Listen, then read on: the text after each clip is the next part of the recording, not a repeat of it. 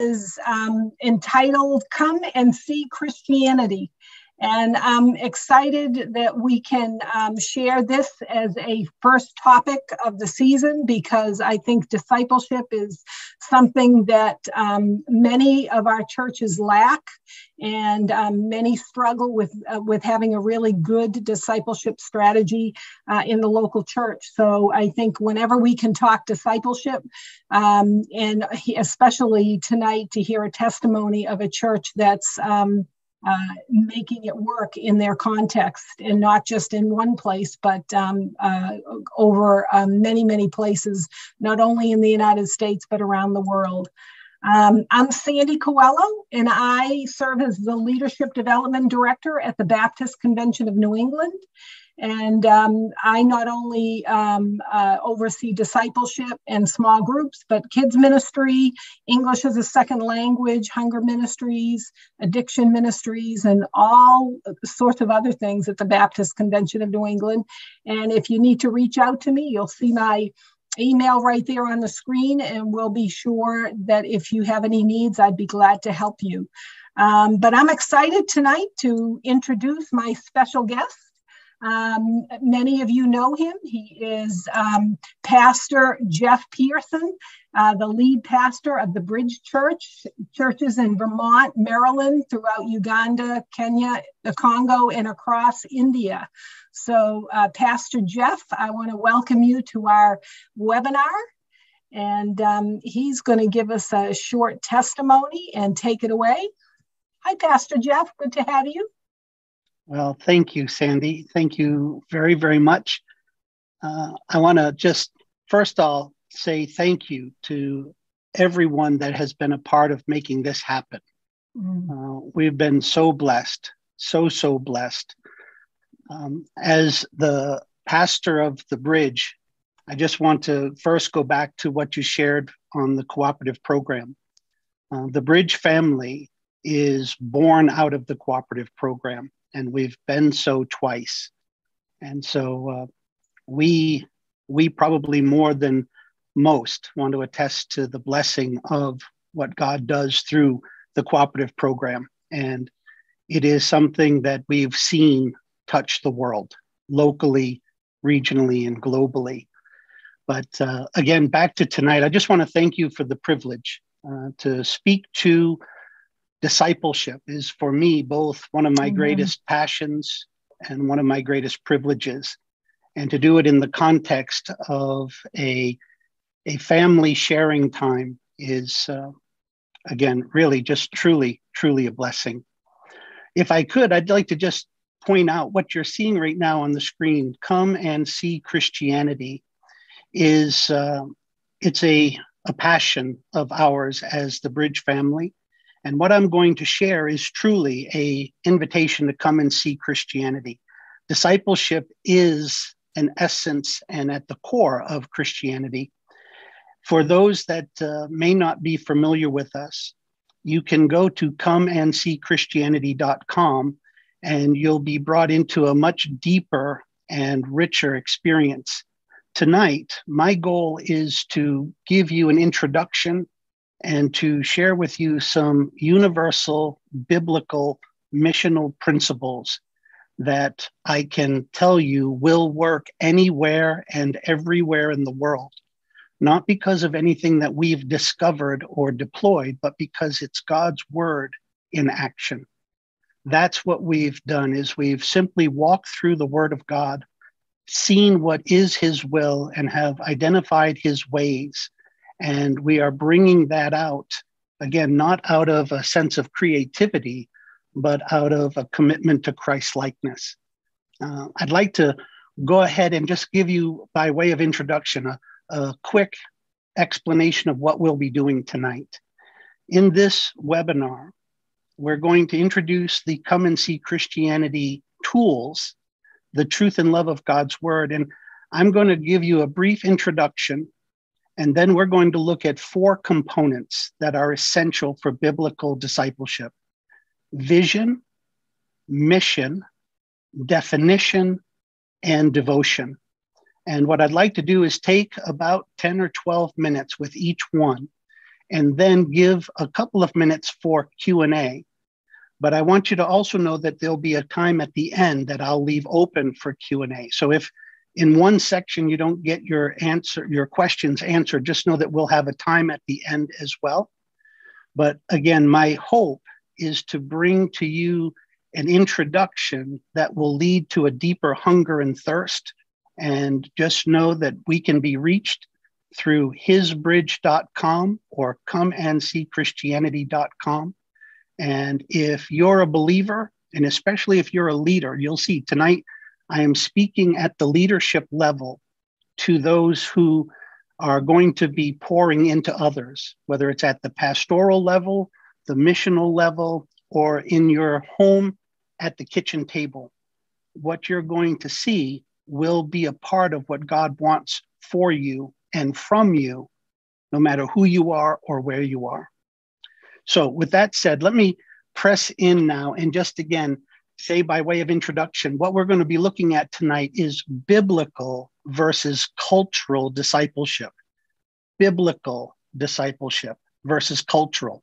And by cultural, I don't just mean what's out in the world, I mean, sadly, what's in the church today. There is so much consumerism and so much felt need, so much attraction model that I believe one of the great challenges in the church today is that we've lost our way. So many who are claiming to be making disciples are doing nothing more than appeasing consumers. So we need to get back to God's word, God's will, and God's ways. Truly biblical discipleship. And we'll look at, again, vision, mission, definition, and devotion. But first to this word biblical. Let me just point out when we say biblical, we're talking about truth in love. And that biblical discipleship could and should always be completely Christian, completely Christian. What I mean by that is no blending. There's no amount of world that should ever get into and permeate worship. So when we talk about biblical discipleship, we're talking about Ephesians 4:15, what the world needs. The world that's being tossed about by the winds and the waves of the world's cunning deception. What's needed is true, pure, pure truth and love. So completely Christian discipleship. Number two, comprehensive discipleship, the whole thing. We can't just go around and ask people if they want to go to heaven. We can't present a Jesus that is only love without truth or holiness or wrath or consequence. So, biblical discipleship will be completely Christian, it will be comprehensive, and then it will also be coherently cohesive. Coherently, meaning that it must be put into the language of those that are listening. That the burden of effective communication rests on the Christian we are the ones who are to be coherent to those who are being shared with. And at the same time, cohesive. We need to be the ones that are going to show the world how our walk, our work, our worship, our warfare all comes together cohesively in the gospel and for the glory of God, all while maintaining and understanding that all of this is by God's grace alone. So when we talk about biblical, it brings me to where I want to begin with every discipleship encounter, whether it's a one time conversation with somebody on an airplane that I'm only going to talk to for 30 minutes, or if it's in our leadership development where I'm going to spend literally years pouring in. We always begin with 2 Timothy 3 16 and 17, because this becomes the great equalizer. We know that we know that we know that while opinions abound and everybody has some, it's God's word that can be trusted at all times in every circumstance. Remember, it's God's word that tells us that all scripture is God breathed and it's profitable for teaching, rebuking, correcting, and training in righteousness so that the man of God may be thoroughly equipped, may be complete and ready for every good work. So when we begin and talk about biblical discipleship, let us remember that if it does not come through the Word of God, if it's not consistent with the Word of God, it's not biblical. Therefore, with that understood, we recognize that we're now ready to get into this sense of vision. Well, vision in terms of biblical discipleship, I think can be summarized this way Christians and Christianity, the vision for the church is that we are the blessed people of God who get to, who get to find the lost and grow the found. Note the dual privilege and responsibility. It's not enough to just go out and say, we found a bunch of people who became believers and we created this spiritual orphanage. No, we're called to do both go and find, and then by God's grace, grow so that we can send out. When we talk about this, we recognize that we need to be devoted to bringing God glory, devoted to bringing God glory by finding and growing more glorifiers. I offer it to you this way as a bridge family, we say that we are an Acts 1 8 family. We share one faith as one family with one focus. And Acts 1 8 grounds all of who we are in this vision together. We're victorious in Christ through this vision because we know that, as he said, we've received his power with his spirit that we may be his people and his people locally, regionally, and globally. I cannot stress this enough. So much of what's lost in discipleship today is lost because of the myopic views of those who claim to be missionaries. We say, well, you know, somebody else will go there, somebody else will do that. But when Christ gave the vision for his people and his mission, it was he who said that we would have a global reach through a local extension, that we would be local, regional, and global. You'll be my witnesses in Jerusalem, local, Judea and Samaria, regional, and to the ends of the earth, global. To have a sense of discipleship that does not have an Acts 1 8 Great Commission global perspective is not biblical discipleship. I can't stress that enough. Now, for us, and I would offer this to anybody else that would be blessed to use it, we've recognized that there is a need for clarity with vision. And so we've put 12 distinctive couplets together.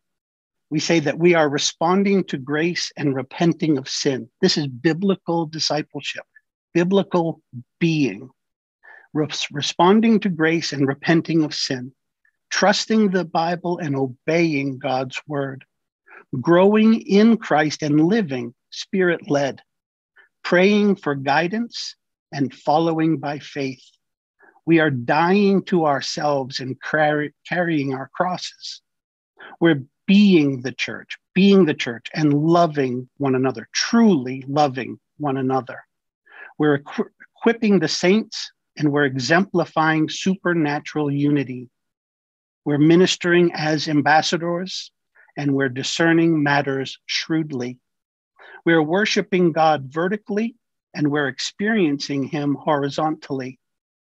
We're proclaiming the gospel no matter what, and we are fishing for men. We're making discipled warriors and we're winning spiritual warfare. We're loving our King, and ultimately, we are serving His kingdom. You see, this is biblical vision for biblical discipleship. And remember, it's God and His Word who say in Proverbs 29 18 that without vision, without a prophetic vision, the people cast off restraint. The King James says the people perish. This need for biblical vision is essential. I want you to realize that if your people or those that you're trying to pour into, they cannot be what they cannot see we need to give the clarity of a biblical bullseye at the very beginning. This is absolutely essential. Now, to do that, we share what we call the flow. And again, I offer this to you. It comes with our Come and See Christianity discipleship tooling.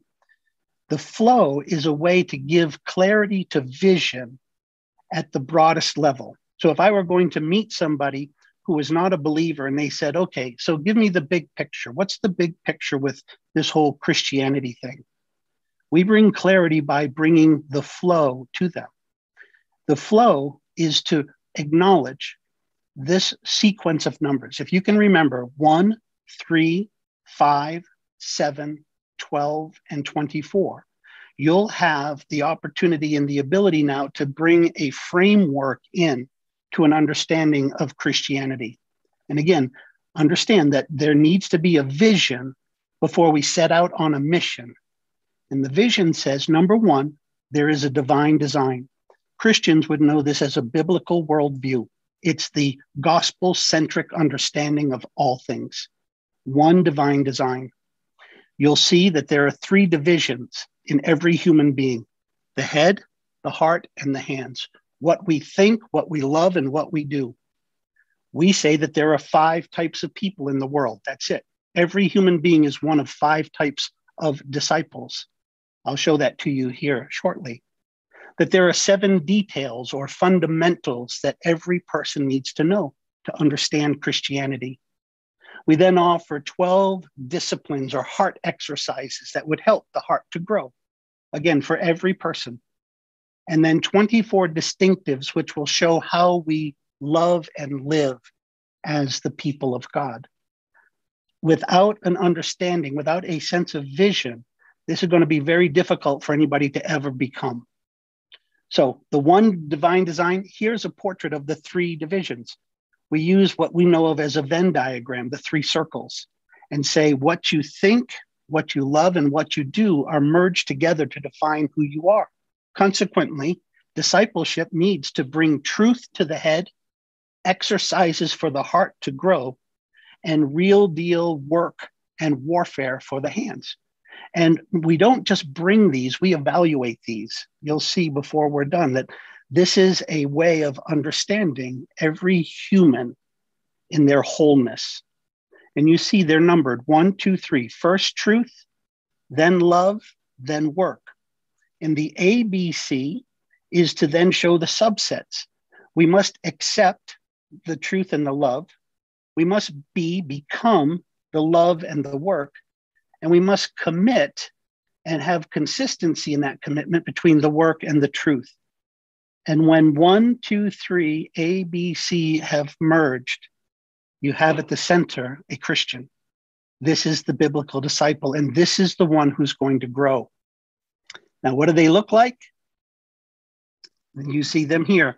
These are the five human beings on the planet. Everybody in the world fits into one of these five people the lost who are dead in their sin before the cross, the baby Christian who just came to life, the new lover is what we call them, the baby believer, the growing learner, the budding leader, and then ultimately that lifer. And I'll give you definitions and descriptions of them here in a little bit. But see that all of humanity, past, present, and future, fit into one of five categories. Every person that has ever been is has either lived and died as a lost person, a lover, a learner, a leader, or a lifer. Those seven details, the fundamentals, we call them sometimes.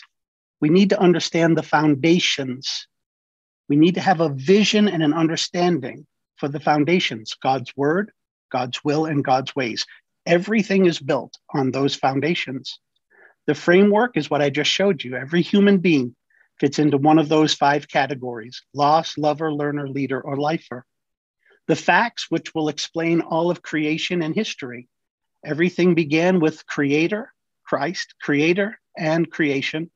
We came to a time of corruption Corruption was cured when Christ came. Christ then left his church in charge until he is coming back. We have creator, corruption, Christ. We have church, and then we have coming back. The fight speaks to spiritual warfare. The fact that every one of us is in a spiritual war, whether we know it or not, and we need to be ready. We need to understand this spiritual warfare Otherwise, like so many in the past have heard, hey, raise your hand, come down the aisle, claim to be a Christian, or do what the pastor said, and he'll call you a Christian. Then Monday morning comes along, and before you know it, they get hit upside the head with a spiritual two by four. And they must they start thinking, well, apparently either I didn't do it right at the church yesterday, or this God isn't all they say he is, because this war has just crushed me. There's a lack of understanding of the reality of spiritual warfare. We need to bring an understanding and this being able to see this vision from the very beginning. Next, as we explain the faith, you would know this as the gospel. I'll show you that here before we're done in a way that brings both vision and mission into clarity biblically. We talk then about the family of God to understand what it is to love up, to love in, and to love out, the true biblical family of God. And then lastly, it's almost anticlimactic, but we speak about the forever, understanding the fundamental biblical perspective and vision on forever, which is to say, from here, every single person is either going to heaven or to hell forever. We bring clarity to this vision. The heart exercises that I spoke of, the 12 disciplines, we use the acronym Jesus's Peace Sword to give clarity to these 12 heart exercises. J is for journaling, E is for eat nothing or fasting, S is for scripture intake, U is for understudying of that scripture intake. The second S, the apostrophe S, is for solitude, time alone with the Lord.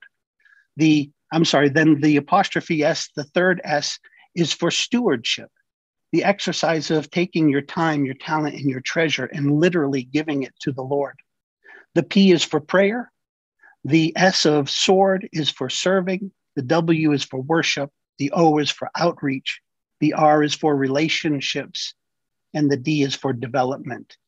As we press in, and, and I hope you can see, I'm doing a quick flyby here, just touching the tops of these trees in the forest of faith each one of these is itself a, a time and a topic that we pour into greatly. And I'll show you um, that we do this at five different levels. There's a need for the lost to get it, kind of like what we're doing today, just a quick, brief covering of here's some of what you should and could expect if you want to come into the Christian realm. With the baby lover, instead of engaging the lost with kind of an introduction, with the lover, we explain these things. With the learner, we press in further. We begin to equip with these things. For the leader, we begin to empower these things that they can then in turn become a multiplier. And with the lifer, they are those who are exemplifying these things and exponentially leading and multiplying leaders. Lastly, I said to you about the 24, the distinctives. These come back to what we shared earlier in the vision. We call it our Bridge Family Manifesto. But those 12 couplings of distinctives, when you take them individually, they each one bring to uh, bring us to this 24 distinctives. And again, in our come and see Christianity and in our broader discipleship time, we bring a deeper explanation to each one of these again at all five levels. First for the lost then the lover the learner the leader and the lifer. So this this is our vision and an understanding that without vision the people perish. So let me stop here. We've, we've taken the time and I've, i know that it's like drinking from a fire hose. So let me just hit pause for a minute and see if there are any questions. And again we'll come back at the end if something doesn't get addressed. Sandy, is there any question that you see or that has been shared that we can we can speak to on this? Yeah, this is a lot of good stuff. Thanks, Pastor Jeff. This is awesome. Yeah. Um, so one of the questions is, um, when did the revelation of this design of discipleship? When did that happen for you? Hmm. That's a great question. Um, I'll give you an answer, which is honest, but I want you to know it's really irrelevant because I'm not really a key part in this. It's it's God and His Word, uh-huh. but this has been something that has been growing in me for years, years and years, and so different pieces have come into their uh, final format at different times. I'm, I'm going to share something with you at the very end that, that the Lord gave me last week and was a part of our sharing on Sunday. So it, it's not so much the, the Pastor Jeff component as it is the Prince Jesus. Uh, this is all from him and his word and uh, nothing else really.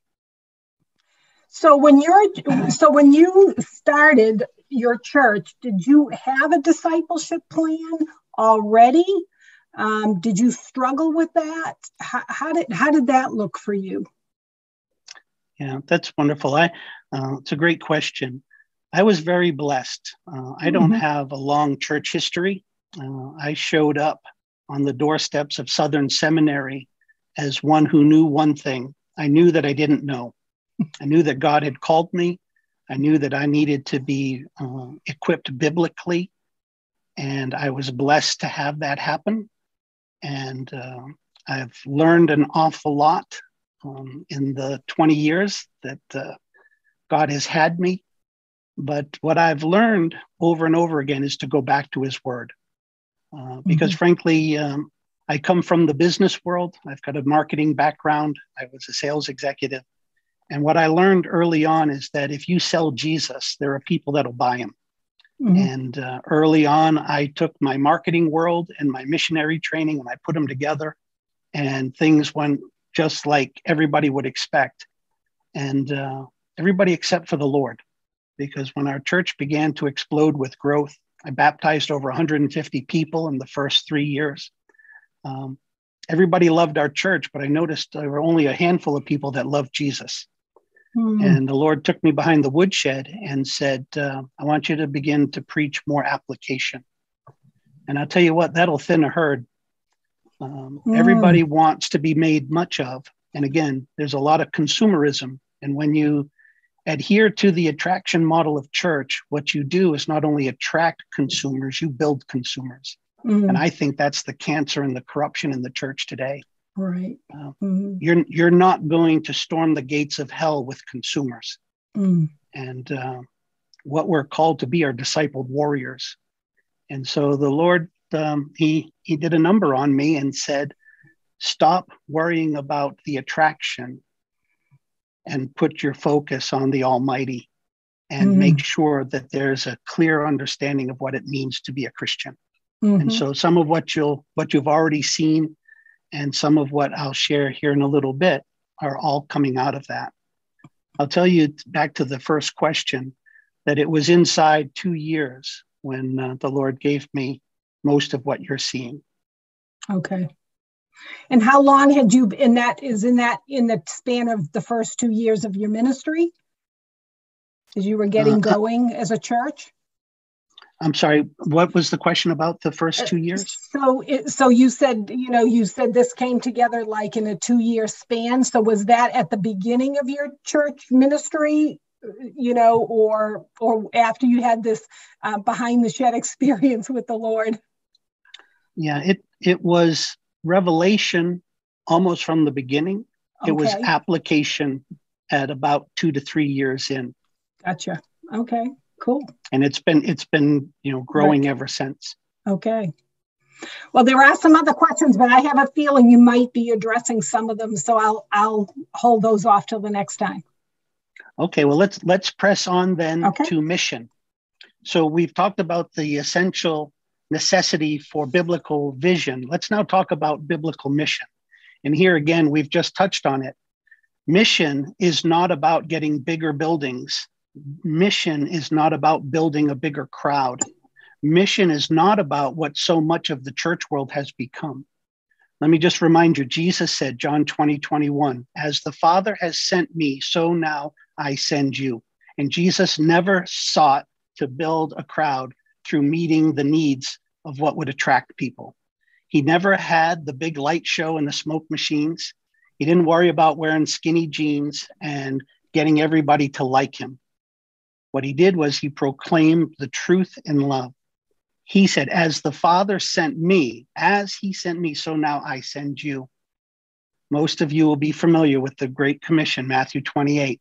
All authority in heaven and on earth have been given to me. All authority. Therefore, you now go make disciples. Don't make consumers.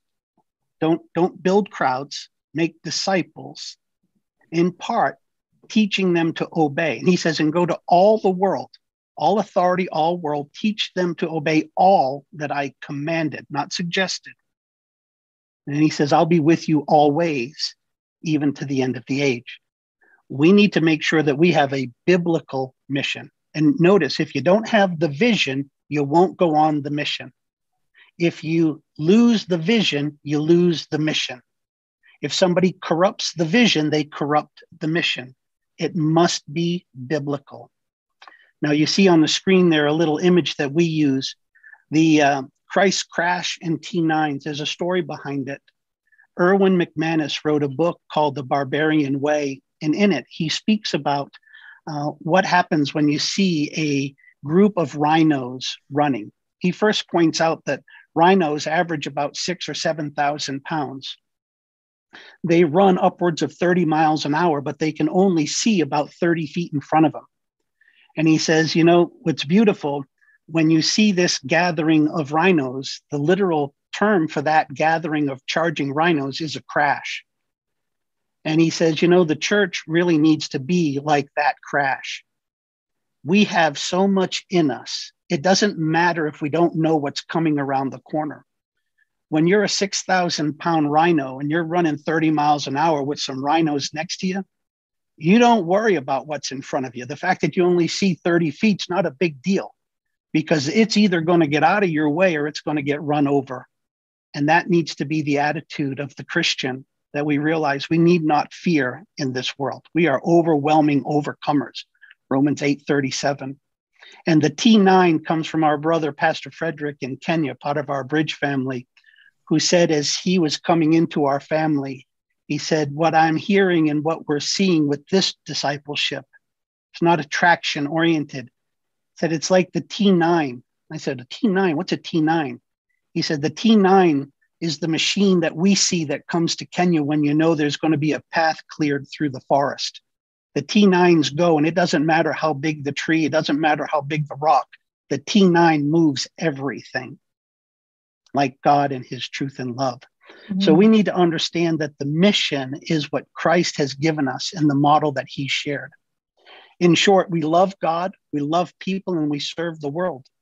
We live out a devotion to bringing glory to God by making disciples who make disciples who make disciples. That's what He's given us. We like to say it this way it's to be the church. And that's a picture of a quilt that hangs in our sanctuary in Maryland, where our bridge family began. And that quilt represents a metaphor for the church. It's made up of scrap swatches. Independently, they can do nothing but woven together with the red thread of the gospel, not only does it become something that's beautiful, but it shows unity through diversity. It shows life saving warmth. This is a portrait of the church. Our mission is to be the church, to be the Christ followers whose love for God, whose love for one another, and whose commitment to serve selflessly will arrest the attention of the onlooking world. We are, John 17, verse 21 through 27 or 23, we are that witness whose supernatural unity, whose love for one another is going to be the calling card of Christ. This is what it is to be the church. This is the mission. And again, it's a local, regional, and global mission. Sandy, you asked what time was it in India? I can tell you because those are some of our bridge brothers that have connected. Pantwi, Abinash, Sojal, Sumanta, Sunil. It was 6 a.m. in India when we began. These are our brothers. This is a part of our family. Our mm-hmm. family in Africa, it's 3:30 in the morning, where it was when we began. Um, it's a true love for one another. It's a true biblical unity that our mission is to be this supernaturally unified people. Part of that mission, I call it the seven I's of biblical discipleship. It is in practicality, it's understanding that we're going to be the people who initiate, Now, by initiating, we understand that nothing happens unless God initiates with us.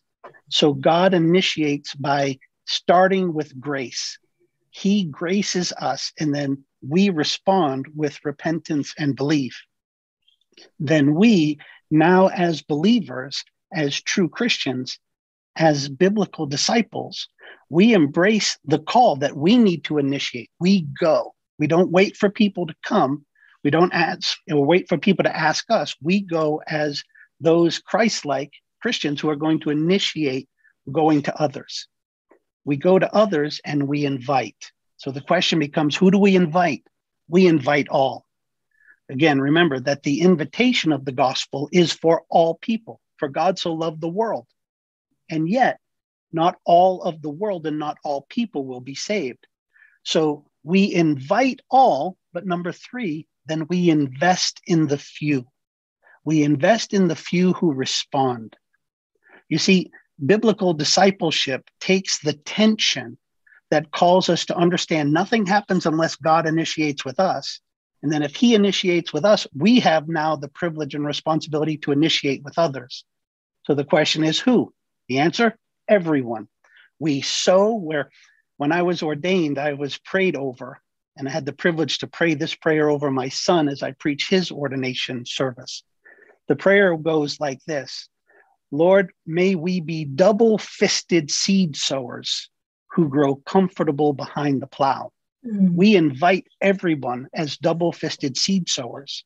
And at the same time, we don't invest heavily in everyone, we invest in those who respond, the few, as Jesus put it.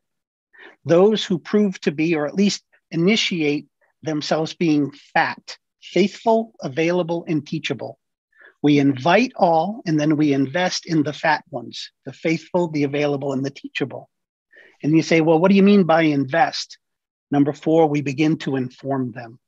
We teach, we equip, we disciple, we pour our lives into others. In that informing, it gives rise to then inspecting. If you love them, you will inspect them. It's not enough to just do a data dump on somebody. It's not enough to say, well, I'm sure they're getting it. If you love them, you'll inspect them. After the inspecting, you hope to have this time where you're now seeing an inspirational component. So we initiate, we invite, we invest, we inform, we inspect, and then we seek to inspire.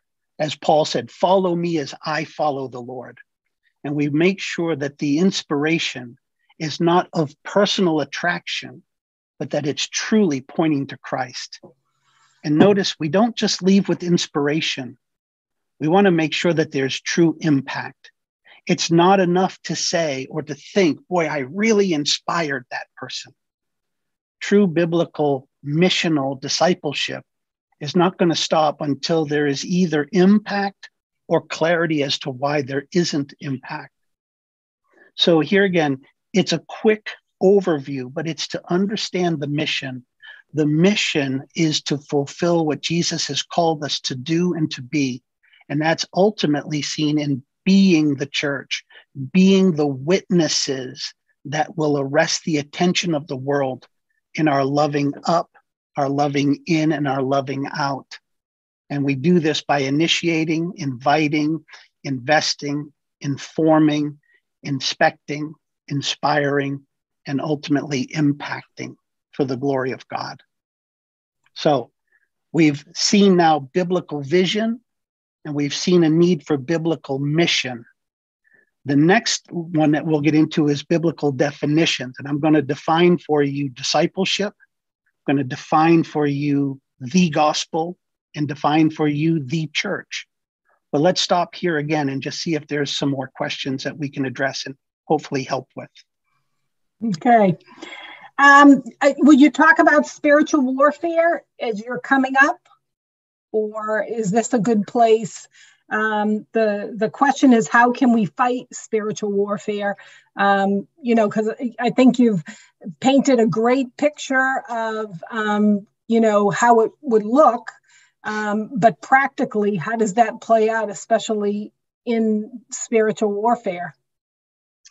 Sure, great, great question. And here again, we've we've done a ton of very deep and in-depth teaching and equipping. Uh, literally have done uh, we call them AITs, advanced individual training, on each component of the full armor of God, which would be one response. But let me let me give you an answer that is comprehensive and true, and at the same time very concise. Uh, we're walking through as a church Psalm 119 uh, as a sermon series. And on Sunday, I preached from Psalm 119, verse 9 and following through verse 16. Psalm 119, verse 9 answers that question very directly. The psalm verse is broken into a question and an answer. Verse 9a asks the question How is a young man to keep his way pure? Verse 9b answers the question. So here's God's answer to God's question guarding, guarding your way according to God's word. That's the short answer. It's being and being in direct proportion to guarding your way according to. So there's a standard here, there's mm. a, a metrics according to God's word. And so that could include everything from fear not the most repeated command in all the Bible mm-hmm. fear not. Another one um, in our training and in uh, the sermon on Sunday, we ended with Philippians 4 8 and 9. Think on all these things that are inherent to God's word, God's will, and God's way, and then practice these things that are inherent to God's word, God's will, and God's ways. So that would be a short answer to a very deep question. But again, I'm not I'm not being trite or or short with the mm-hmm. question. That's pure biblical answer to that really important question. Okay.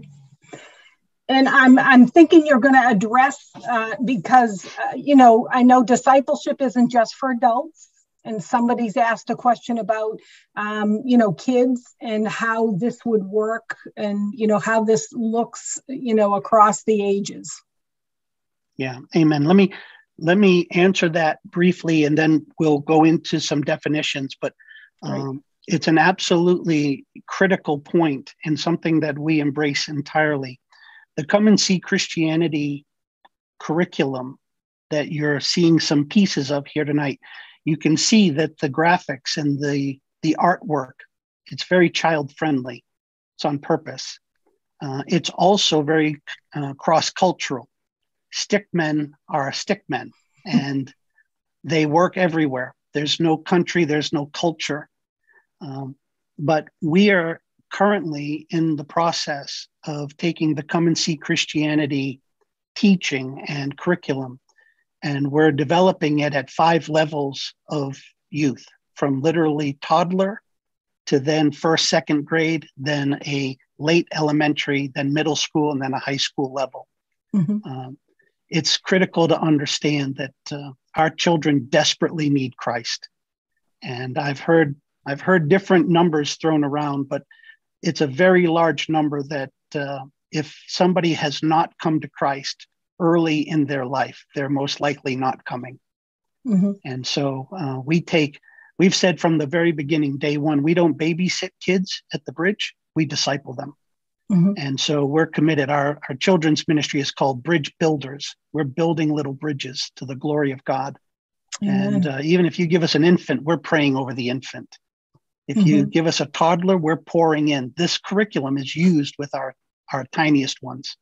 Mm-hmm. And I'll tell you, if you want to be inspired, wait till you see a four year old share the gospel in a way that most adults aren't ready or capable of sharing. It's mm-hmm. amazing what children are capable of retaining and sharing. And it's critical that we understand that they need this truth and love. They mm-hmm. don't need to be babysat for a couple hours so mom and dad can have a little downtime. They need Jesus, and we take that to heart. They certainly are sponges.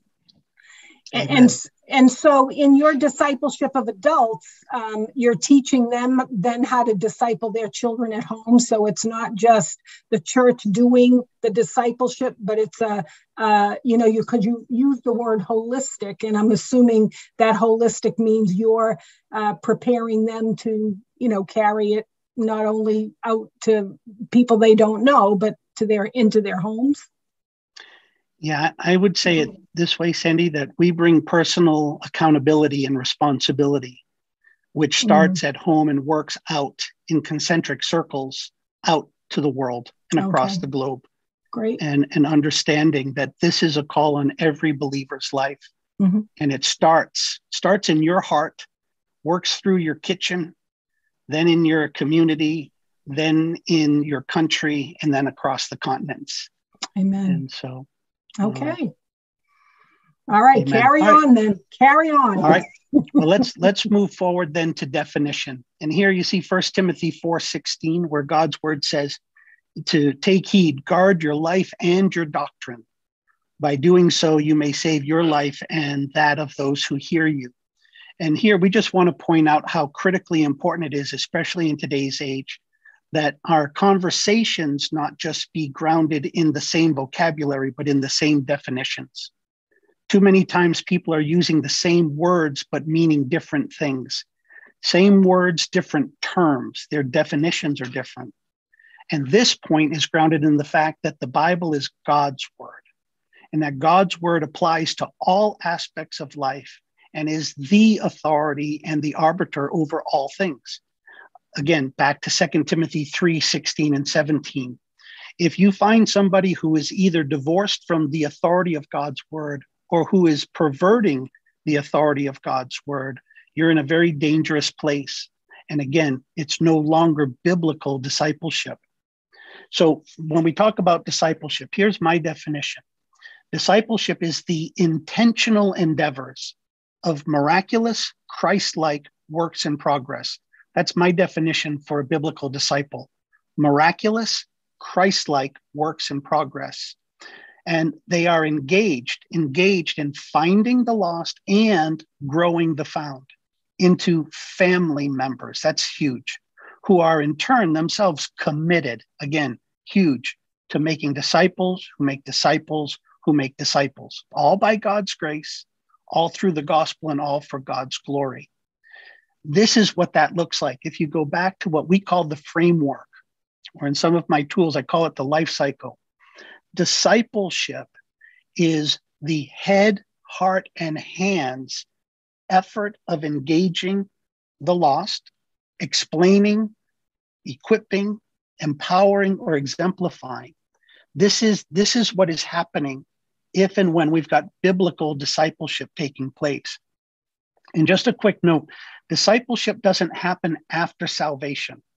Notice this we disciple lost people. Now, not all lost people end up getting saved. But if you think that discipleship starts after salvation, you're not biblical. Jesus was discipling the disciples long before they became Christ followers and true biblical Christians. We need to understand that discipleship begins with prayer and it goes into the darkness. And we're going to try to disciple people who ultimately one day will turn away. That's part of it. We must understand this. But let me press in a little bit further and let's give some clarity. I promised you some definitions before. This is the lost person. By definition, and again, these are my terms, but let, let the truth from God's word come through whatever vocabulary you want to use. But a lost person they are those who are wrongly and rebelliously related to the God of the Bible, the spiritually blind and stubborn. They are neither surrendered to the lordship of Jesus Christ nor filled with his spirit. While such souls are often religious, they remain unrepentant, unbelieving, unfruitful, and disobedient. The lost are spiritually dead, spiritually dead sinners. Look what happens now when we come up to the lover.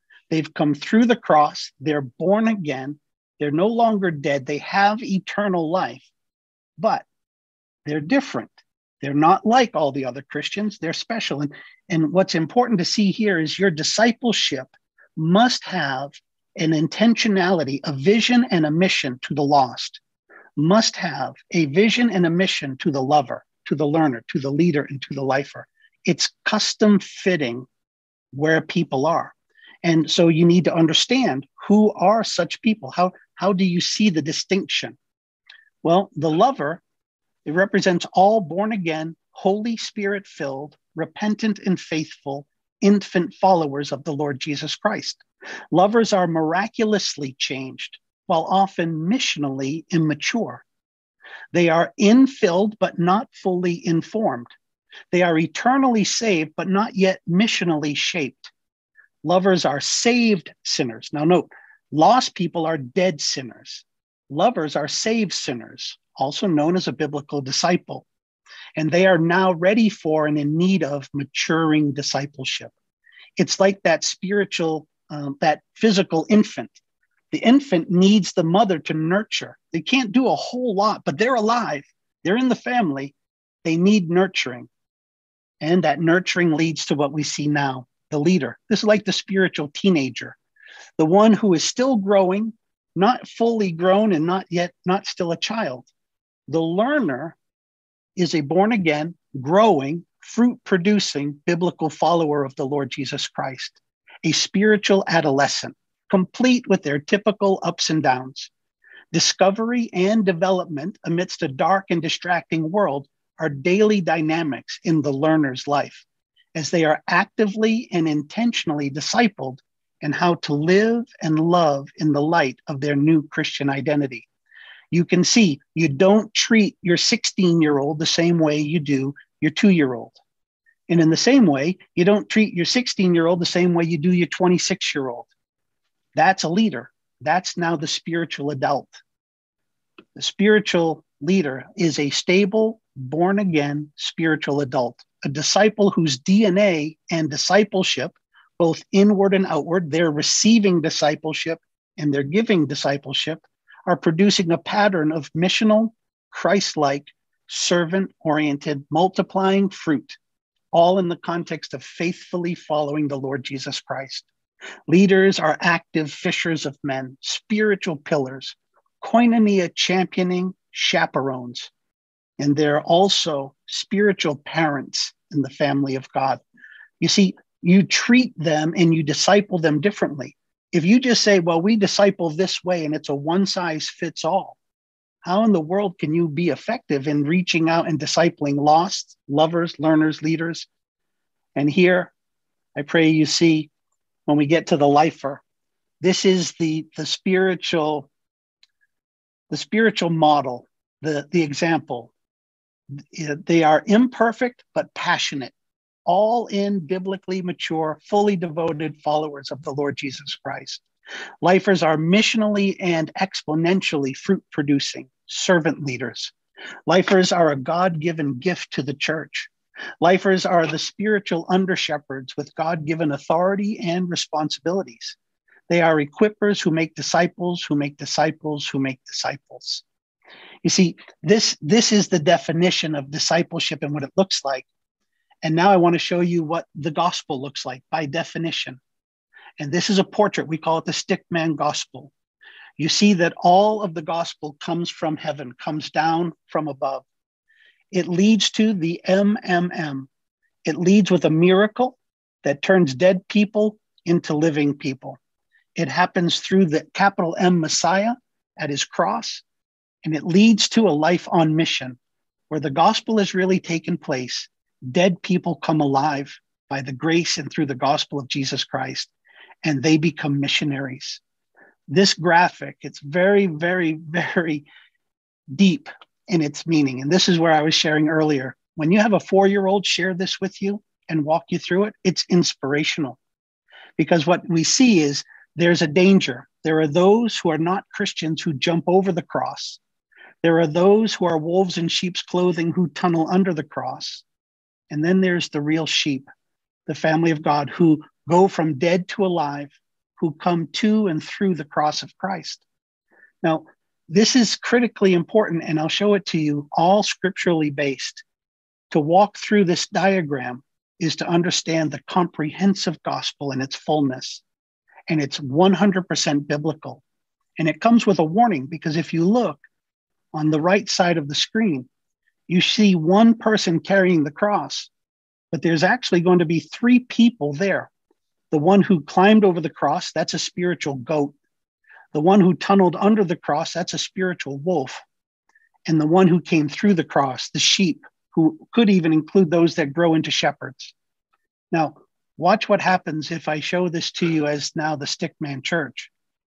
All three of those are in the church. This is the visible church. This is what is doing so much damage in the world today.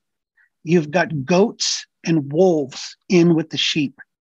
And where and when discipleship and church life, Christianity is not biblical, not being maintained and taught and guarded biblically, you end up with a culture seeing a church that is two thirds corrupt. And this is not the biblical church if we don't understand, we don't have a vision for biblical church, if we don't have the mission of being biblical church, if we don't have the biblical definitions of who's who in the church, we're in a world of trouble. And that's what we see. This image as well, again, there's a lot deeper teaching, but it's 100% biblically explained and reinforced. This is to understand the definition of discipleship understand the definition of the gospel, to understand the definition of the biblical church, what's right and righteous about it, and what's wrong and dangerous. So, again, just a, a portrait of the need in principle for biblical vision, biblical mission, biblical definitions. And let me stop here. The last session will be quicker, but I don't want to go without giving an opportunity to see if there are any other questions. Yes, and be sure if you do have questions, you want to get them in that chat. Um, so, a couple of questions that did come in about, um, and you might be talking about this in a few minutes. Um, you know, what's the preference? Or, I, I mean, I, I bet you use both one on one discipleship and mm-hmm. small groups. You know, what does that look like? Yeah, so discipleship biblically is life on life. Mm-hmm. And life on life is literally life on life. And so there are times and contexts that will be one on one. It'll be a few. It, you know, I think about it in terms of personal, which is vertical, then the essence of a pod, three, you know, that you want to have a Paul, a Barnabas, and a Timothy. Somebody that's pouring into you, somebody that you're rubbing shoulders with, and somebody that you're pouring into. Okay. Then you want to have that that posse, that uh, that small group that you run with, that you do life with, that's really truly intimate. And I'm also a veteran. You want to have a platoon. you want to have that larger group that's ready to go to war and capable of going to war together. Mm-hmm. And and so it's discipleship in the context of all of that. It, it's really it's a it's a biblical I've been asked, Sandy, people have said to me, you know, you guys, it's a little different. Where'd you get that model? You know, what's mm-hmm. your strategy? And I say, our model is the Bible, it's the book of Acts. Mm-hmm. Our strategy is faithful obedience, no more, no less. Mm-hmm. And, you know, even as a twice appointed North American Mission Board church planting missionary, I, I no longer accept that term. We're not church planters, we're gospel planters. Now, if if the Lord were to send 20 or 30 someplace, yeah, that's that's a plant of a church. That's a, a group going. But um, in both cases, we've been gospel planters. Uh, they said at one time we were a parachute drop. You know, you're, you're being dropped into an area, but you're a church planter. And I, I've come to realize, no, no, we're gospel planters. God, God builds his church. We, we plant the gospel, he raises up the church. And so it's really just doing life in every context of life and mm-hmm. not putting things into compartments or hat wearing. You know, mm-hmm. oh, it's Sunday. I'm I'm Pastor Jeff today. No, I'm always right. Pastor Jeff. You right. know, right. Um, and yeah. that should and that's not because of my title. That's because of my relationship with Christ. Okay. And the same is true for every believer. Mm-hmm. Mm-hmm. All right, well, I'll let you get on to the last one because it is 8.30, so I'll let you get on okay. to the last one, and I do have a couple more questions, so. Okay, so let, let's just go on then to the last piece, which is devotion. And uh, this is something I like to say often, and it's been a bit of a lightning rod in my ministry. But 99% obedience is 100% disobedience. Devotion is understanding that there's no cant or compromise on this side of the cross, and there never was any self preservation in the gospel. Devotion is to literally say, no matter what, I'm going to live out as best I can the right attitude and the right actions to the glory of God. And that if we have any hope of going from the default position where we all began, we begin wrong with God. Our attitude is selfish, our actions are rebellious. Nobody starts off in a right place or a righteous place with God. And every one of us are going to go through battles on the way. But if you've received the miracle and you've come into the rightness of attitude and the righteousness of actions, then that happened through the Messiah at the cross. And then the rest of our lives will be lived out on mission as we go from not just being right, but seeking out the righteousness of Christ. And that is a no matter what call and commissioning. For those that would doubt, again, 99% obedience is 100% disobedience. It's Jesus who said in John 14, 15, if, if you love me, you will obey my commandments. Now, that's not a call to or an expectation of perfection. It's not saying that if you're not perfect, you don't love Jesus. But if the pattern and the trajectory of one's life is not in that pursuit of purity, in that pattern of seeking righteousness, then you're not talking about somebody who has the devotion that biblical discipleship not only calls for, but is defining of the biblical Christian. You know, I ask people often, what do you call a follower who doesn't follow? And the answer is a liar. You know, and I think, again, because we don't have biblical standards, we don't have biblical vision, we don't have biblical mission, we don't have biblical definitions. We, for example, when we talk about being a fisher of men, I see people that go and hang out around the lake and they have picnics they they buy fishing equipment. They talk about fishing. They got the most beautiful tackle box, but they're not fishing. So what do you call a fisher of men who doesn't fish? Well, they're not a fisher of men. They might be picnic goers, but they're not fishers. And on that point, let me just also be clear. If you look at the ministry of Christ and you read the word of God, there's never any fishing with bait. Jesus never fished with bait. We cast the net of the gospel. We don't fish with bait. We're not hiding any hooks.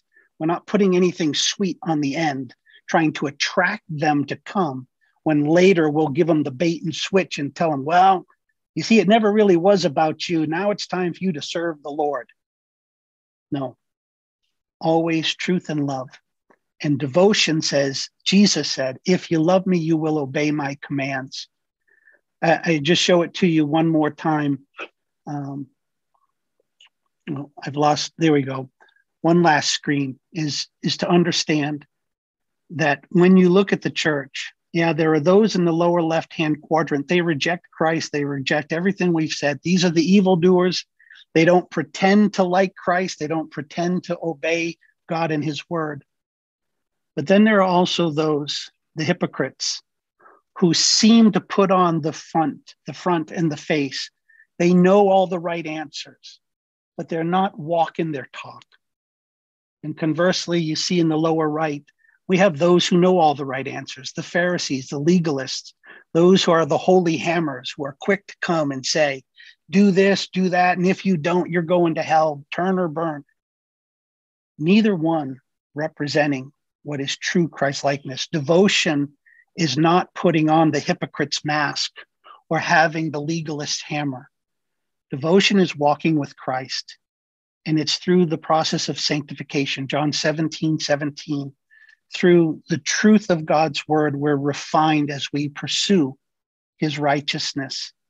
And we do this as we see in Philippians 1:27 as those who seek to live out a life worthy of the gospel. That's devotion. It's also Ephesians 4 1, where we live a life worthy of our calling. It, it's to seek to bring glory to God with joy in our heart, being the church, with biblical vision, biblical mission, biblical definitions, and biblical devotion. No more, no less, no matter what. That, I pray, is a blessing that will help. That's a quick overview of the principles that will undergird biblical discipleship versus what's happening in the cultural church. So mm. I'll, I'll leave it there and thank you again for the privilege to share what is my passion and again, my privilege. It certainly is. It certainly is. And so I got two more questions for you. Sure. Um, what does outreach look like? Hmm.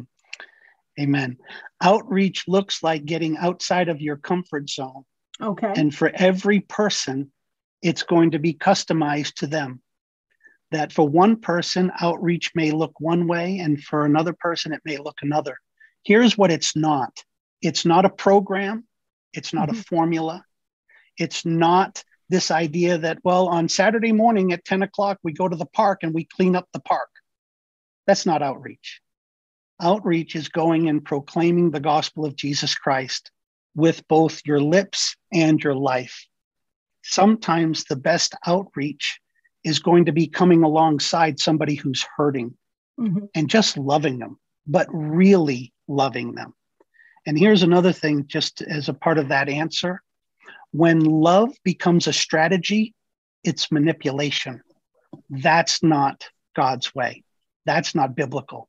When somebody's form of outreach is really a strategy, that's not love and that's not outreach. That's manipulation. That's marketing done with some sophistication. And again, I know that world. I was a manipulator. So, outreach is really getting outside of your comfort zone for the glory of God and the blessing of others. And that can come in a lot of different shapes and sizes. The key is that it's Christ centered mm-hmm. and that it involves both lips and lives. Okay. So, that's a great question. Okay. Yeah. And then um, finally, you know, have you noticed any? you know, we've been in a couple of years now of this COVID. You know, how has that impacted discipleship? Uh, you know, do you do it differently? Are you doing it more online? Is it not in person as much? You know, has or has there not been an impact? Yeah, I love that question. I love it. Let me tell you the impact that COVID has had on our ministry, like gas on a fire. Hmm we have spread like wildfire to the glory of God. And it's because in this time of COVID, I'll tell you what happens consumers go home mm. and superficial relationships wither up. But when the storm comes and there's real Christ centered love and the mission is understood, and what unites you is the vision and the mission and the definitions and a devotion to the Lord, well, you realize that this is a time for all hands on deck mm-hmm. and that you see the biblical God in and through all of this. We recognize we we have the vaccine. His name is Jesus. You know, we, we don't need some superficial Moderna or Pfizer. That stuff will come and go. We have what the world needs, and we realize it and we've been blessed uh, literally to spread all over the world. Mm-hmm. And it's because we have truth and love, and mm-hmm. nothing has changed. And Sandy, this is one of the mm-hmm. greatest blessings of, of God's hand on us. Mm-hmm. We've been doing what we're doing right now, literally for nine years, mm-hmm. and it has not changed. And so when COVID hit and everybody said, oh, we've got to change all of our models, our model didn't change. Today, two plus years after, we're the same as we were two weeks before COVID, two years before that. Mm-hmm. Because, and, and the key is because we're being biblical. Mm-hmm. Mm-hmm. And all, all we've done, we didn't change our models and we didn't go and figure, we've just been using everything that God's given us to make disciples who make disciples who make disciples mm-hmm. locally, regionally, and globally. And again, I, I, suspect, you know, there'll be things that'll shift and change. But because our core is the biblical truth and love. That's why it's it's working in Africa, it's working in Asia, it's working in the north, it's working in the south, because mm-hmm. it's God. It's God right. and His blueprint, His blueprint, His bullseye. Mm-hmm. Amen. Amen. Amen. Thank Amen. you. And I want to tell everybody I'll um, I'll be putting together a resource sheet of some of the uh, principles you've talked about tonight, just so many have been trying to write everything down. Plus, you have a resource, and I'm going to send one out when I get my box of resources. I'm going to send them out. Uh, everybody will get a copy of that um, so that you know you could look at that and certainly um, uh, reach out to pastor jeff um, and i'll make sure you have his contact information if you want to talk about that. And um, uh, yes absolutely we will have the recording and we'll send that out as well. I'll be sending that out as soon as it's edited so that you can share it with um, anybody in your network that might be helpful. But you'll also get that resource, which is a book, correct? You've you've yes. put together a book, and so we want to put that in your hands, and you may be able to use some of that. And certainly reach out to Pastor Jeff, and he'd be happy to, um, you know, walk alongside you and answer any other further questions. That'd be great. Amen. Great. Well, thank you. I want to I want to thank you again, Sandy, for the opportunity and for those that have joined us, thank you for investing the time. I pray that the blessing um, will be something that is a gift that keeps on giving. Absolutely. Absolutely. And you'll see Pastor Jeff's uh, contact information there up on the screen. And, um, and I'll make sure you get that again uh, in the next day or so. And also, next Monday, we're doing a webinar on uh, church revitalization, and that might be something you're interested in. And you can always um, check that out at bcne.net slash uh, events, and you can sign up there. But that's going to be next Monday night with Gary Moritz. He's our church revitalization leader here in New England. So, so glad you could be here, Pastor Jeff. I'd ask if you could close us in prayer and then we'll um, say goodbye. Amen. It'd be my blessing. Lord, Amen. thank you so much for this time. I thank you for those who have a heart and an interest, a passion, I pray, for making disciples who make disciples who make disciples. Amen. Lord, may it be your word, your will, and your ways that we bring locally, regionally, and globally no matter what. Mm. I thank you for Sandy opening up this window and this door of opportunity. I pray that you have touched hearts and that you've made an eternal impact tonight. May you get all the glory. We thank you and love you in Jesus' name. Amen and amen. Amen. All right. If you have any further questions, please um, put those in the chat and uh, Tiffany says, Thank you. We love you, Pastor Jeff. That's good. Thank you. awesome. Thank Great. You. So glad. Yep. Lots of thank yous here. Thank you for your teaching. Good stuff.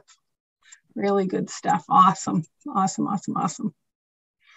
All right. Be blessed and have a blessed night. Thank you very much, everybody. Take care. We'll see you soon. Good night.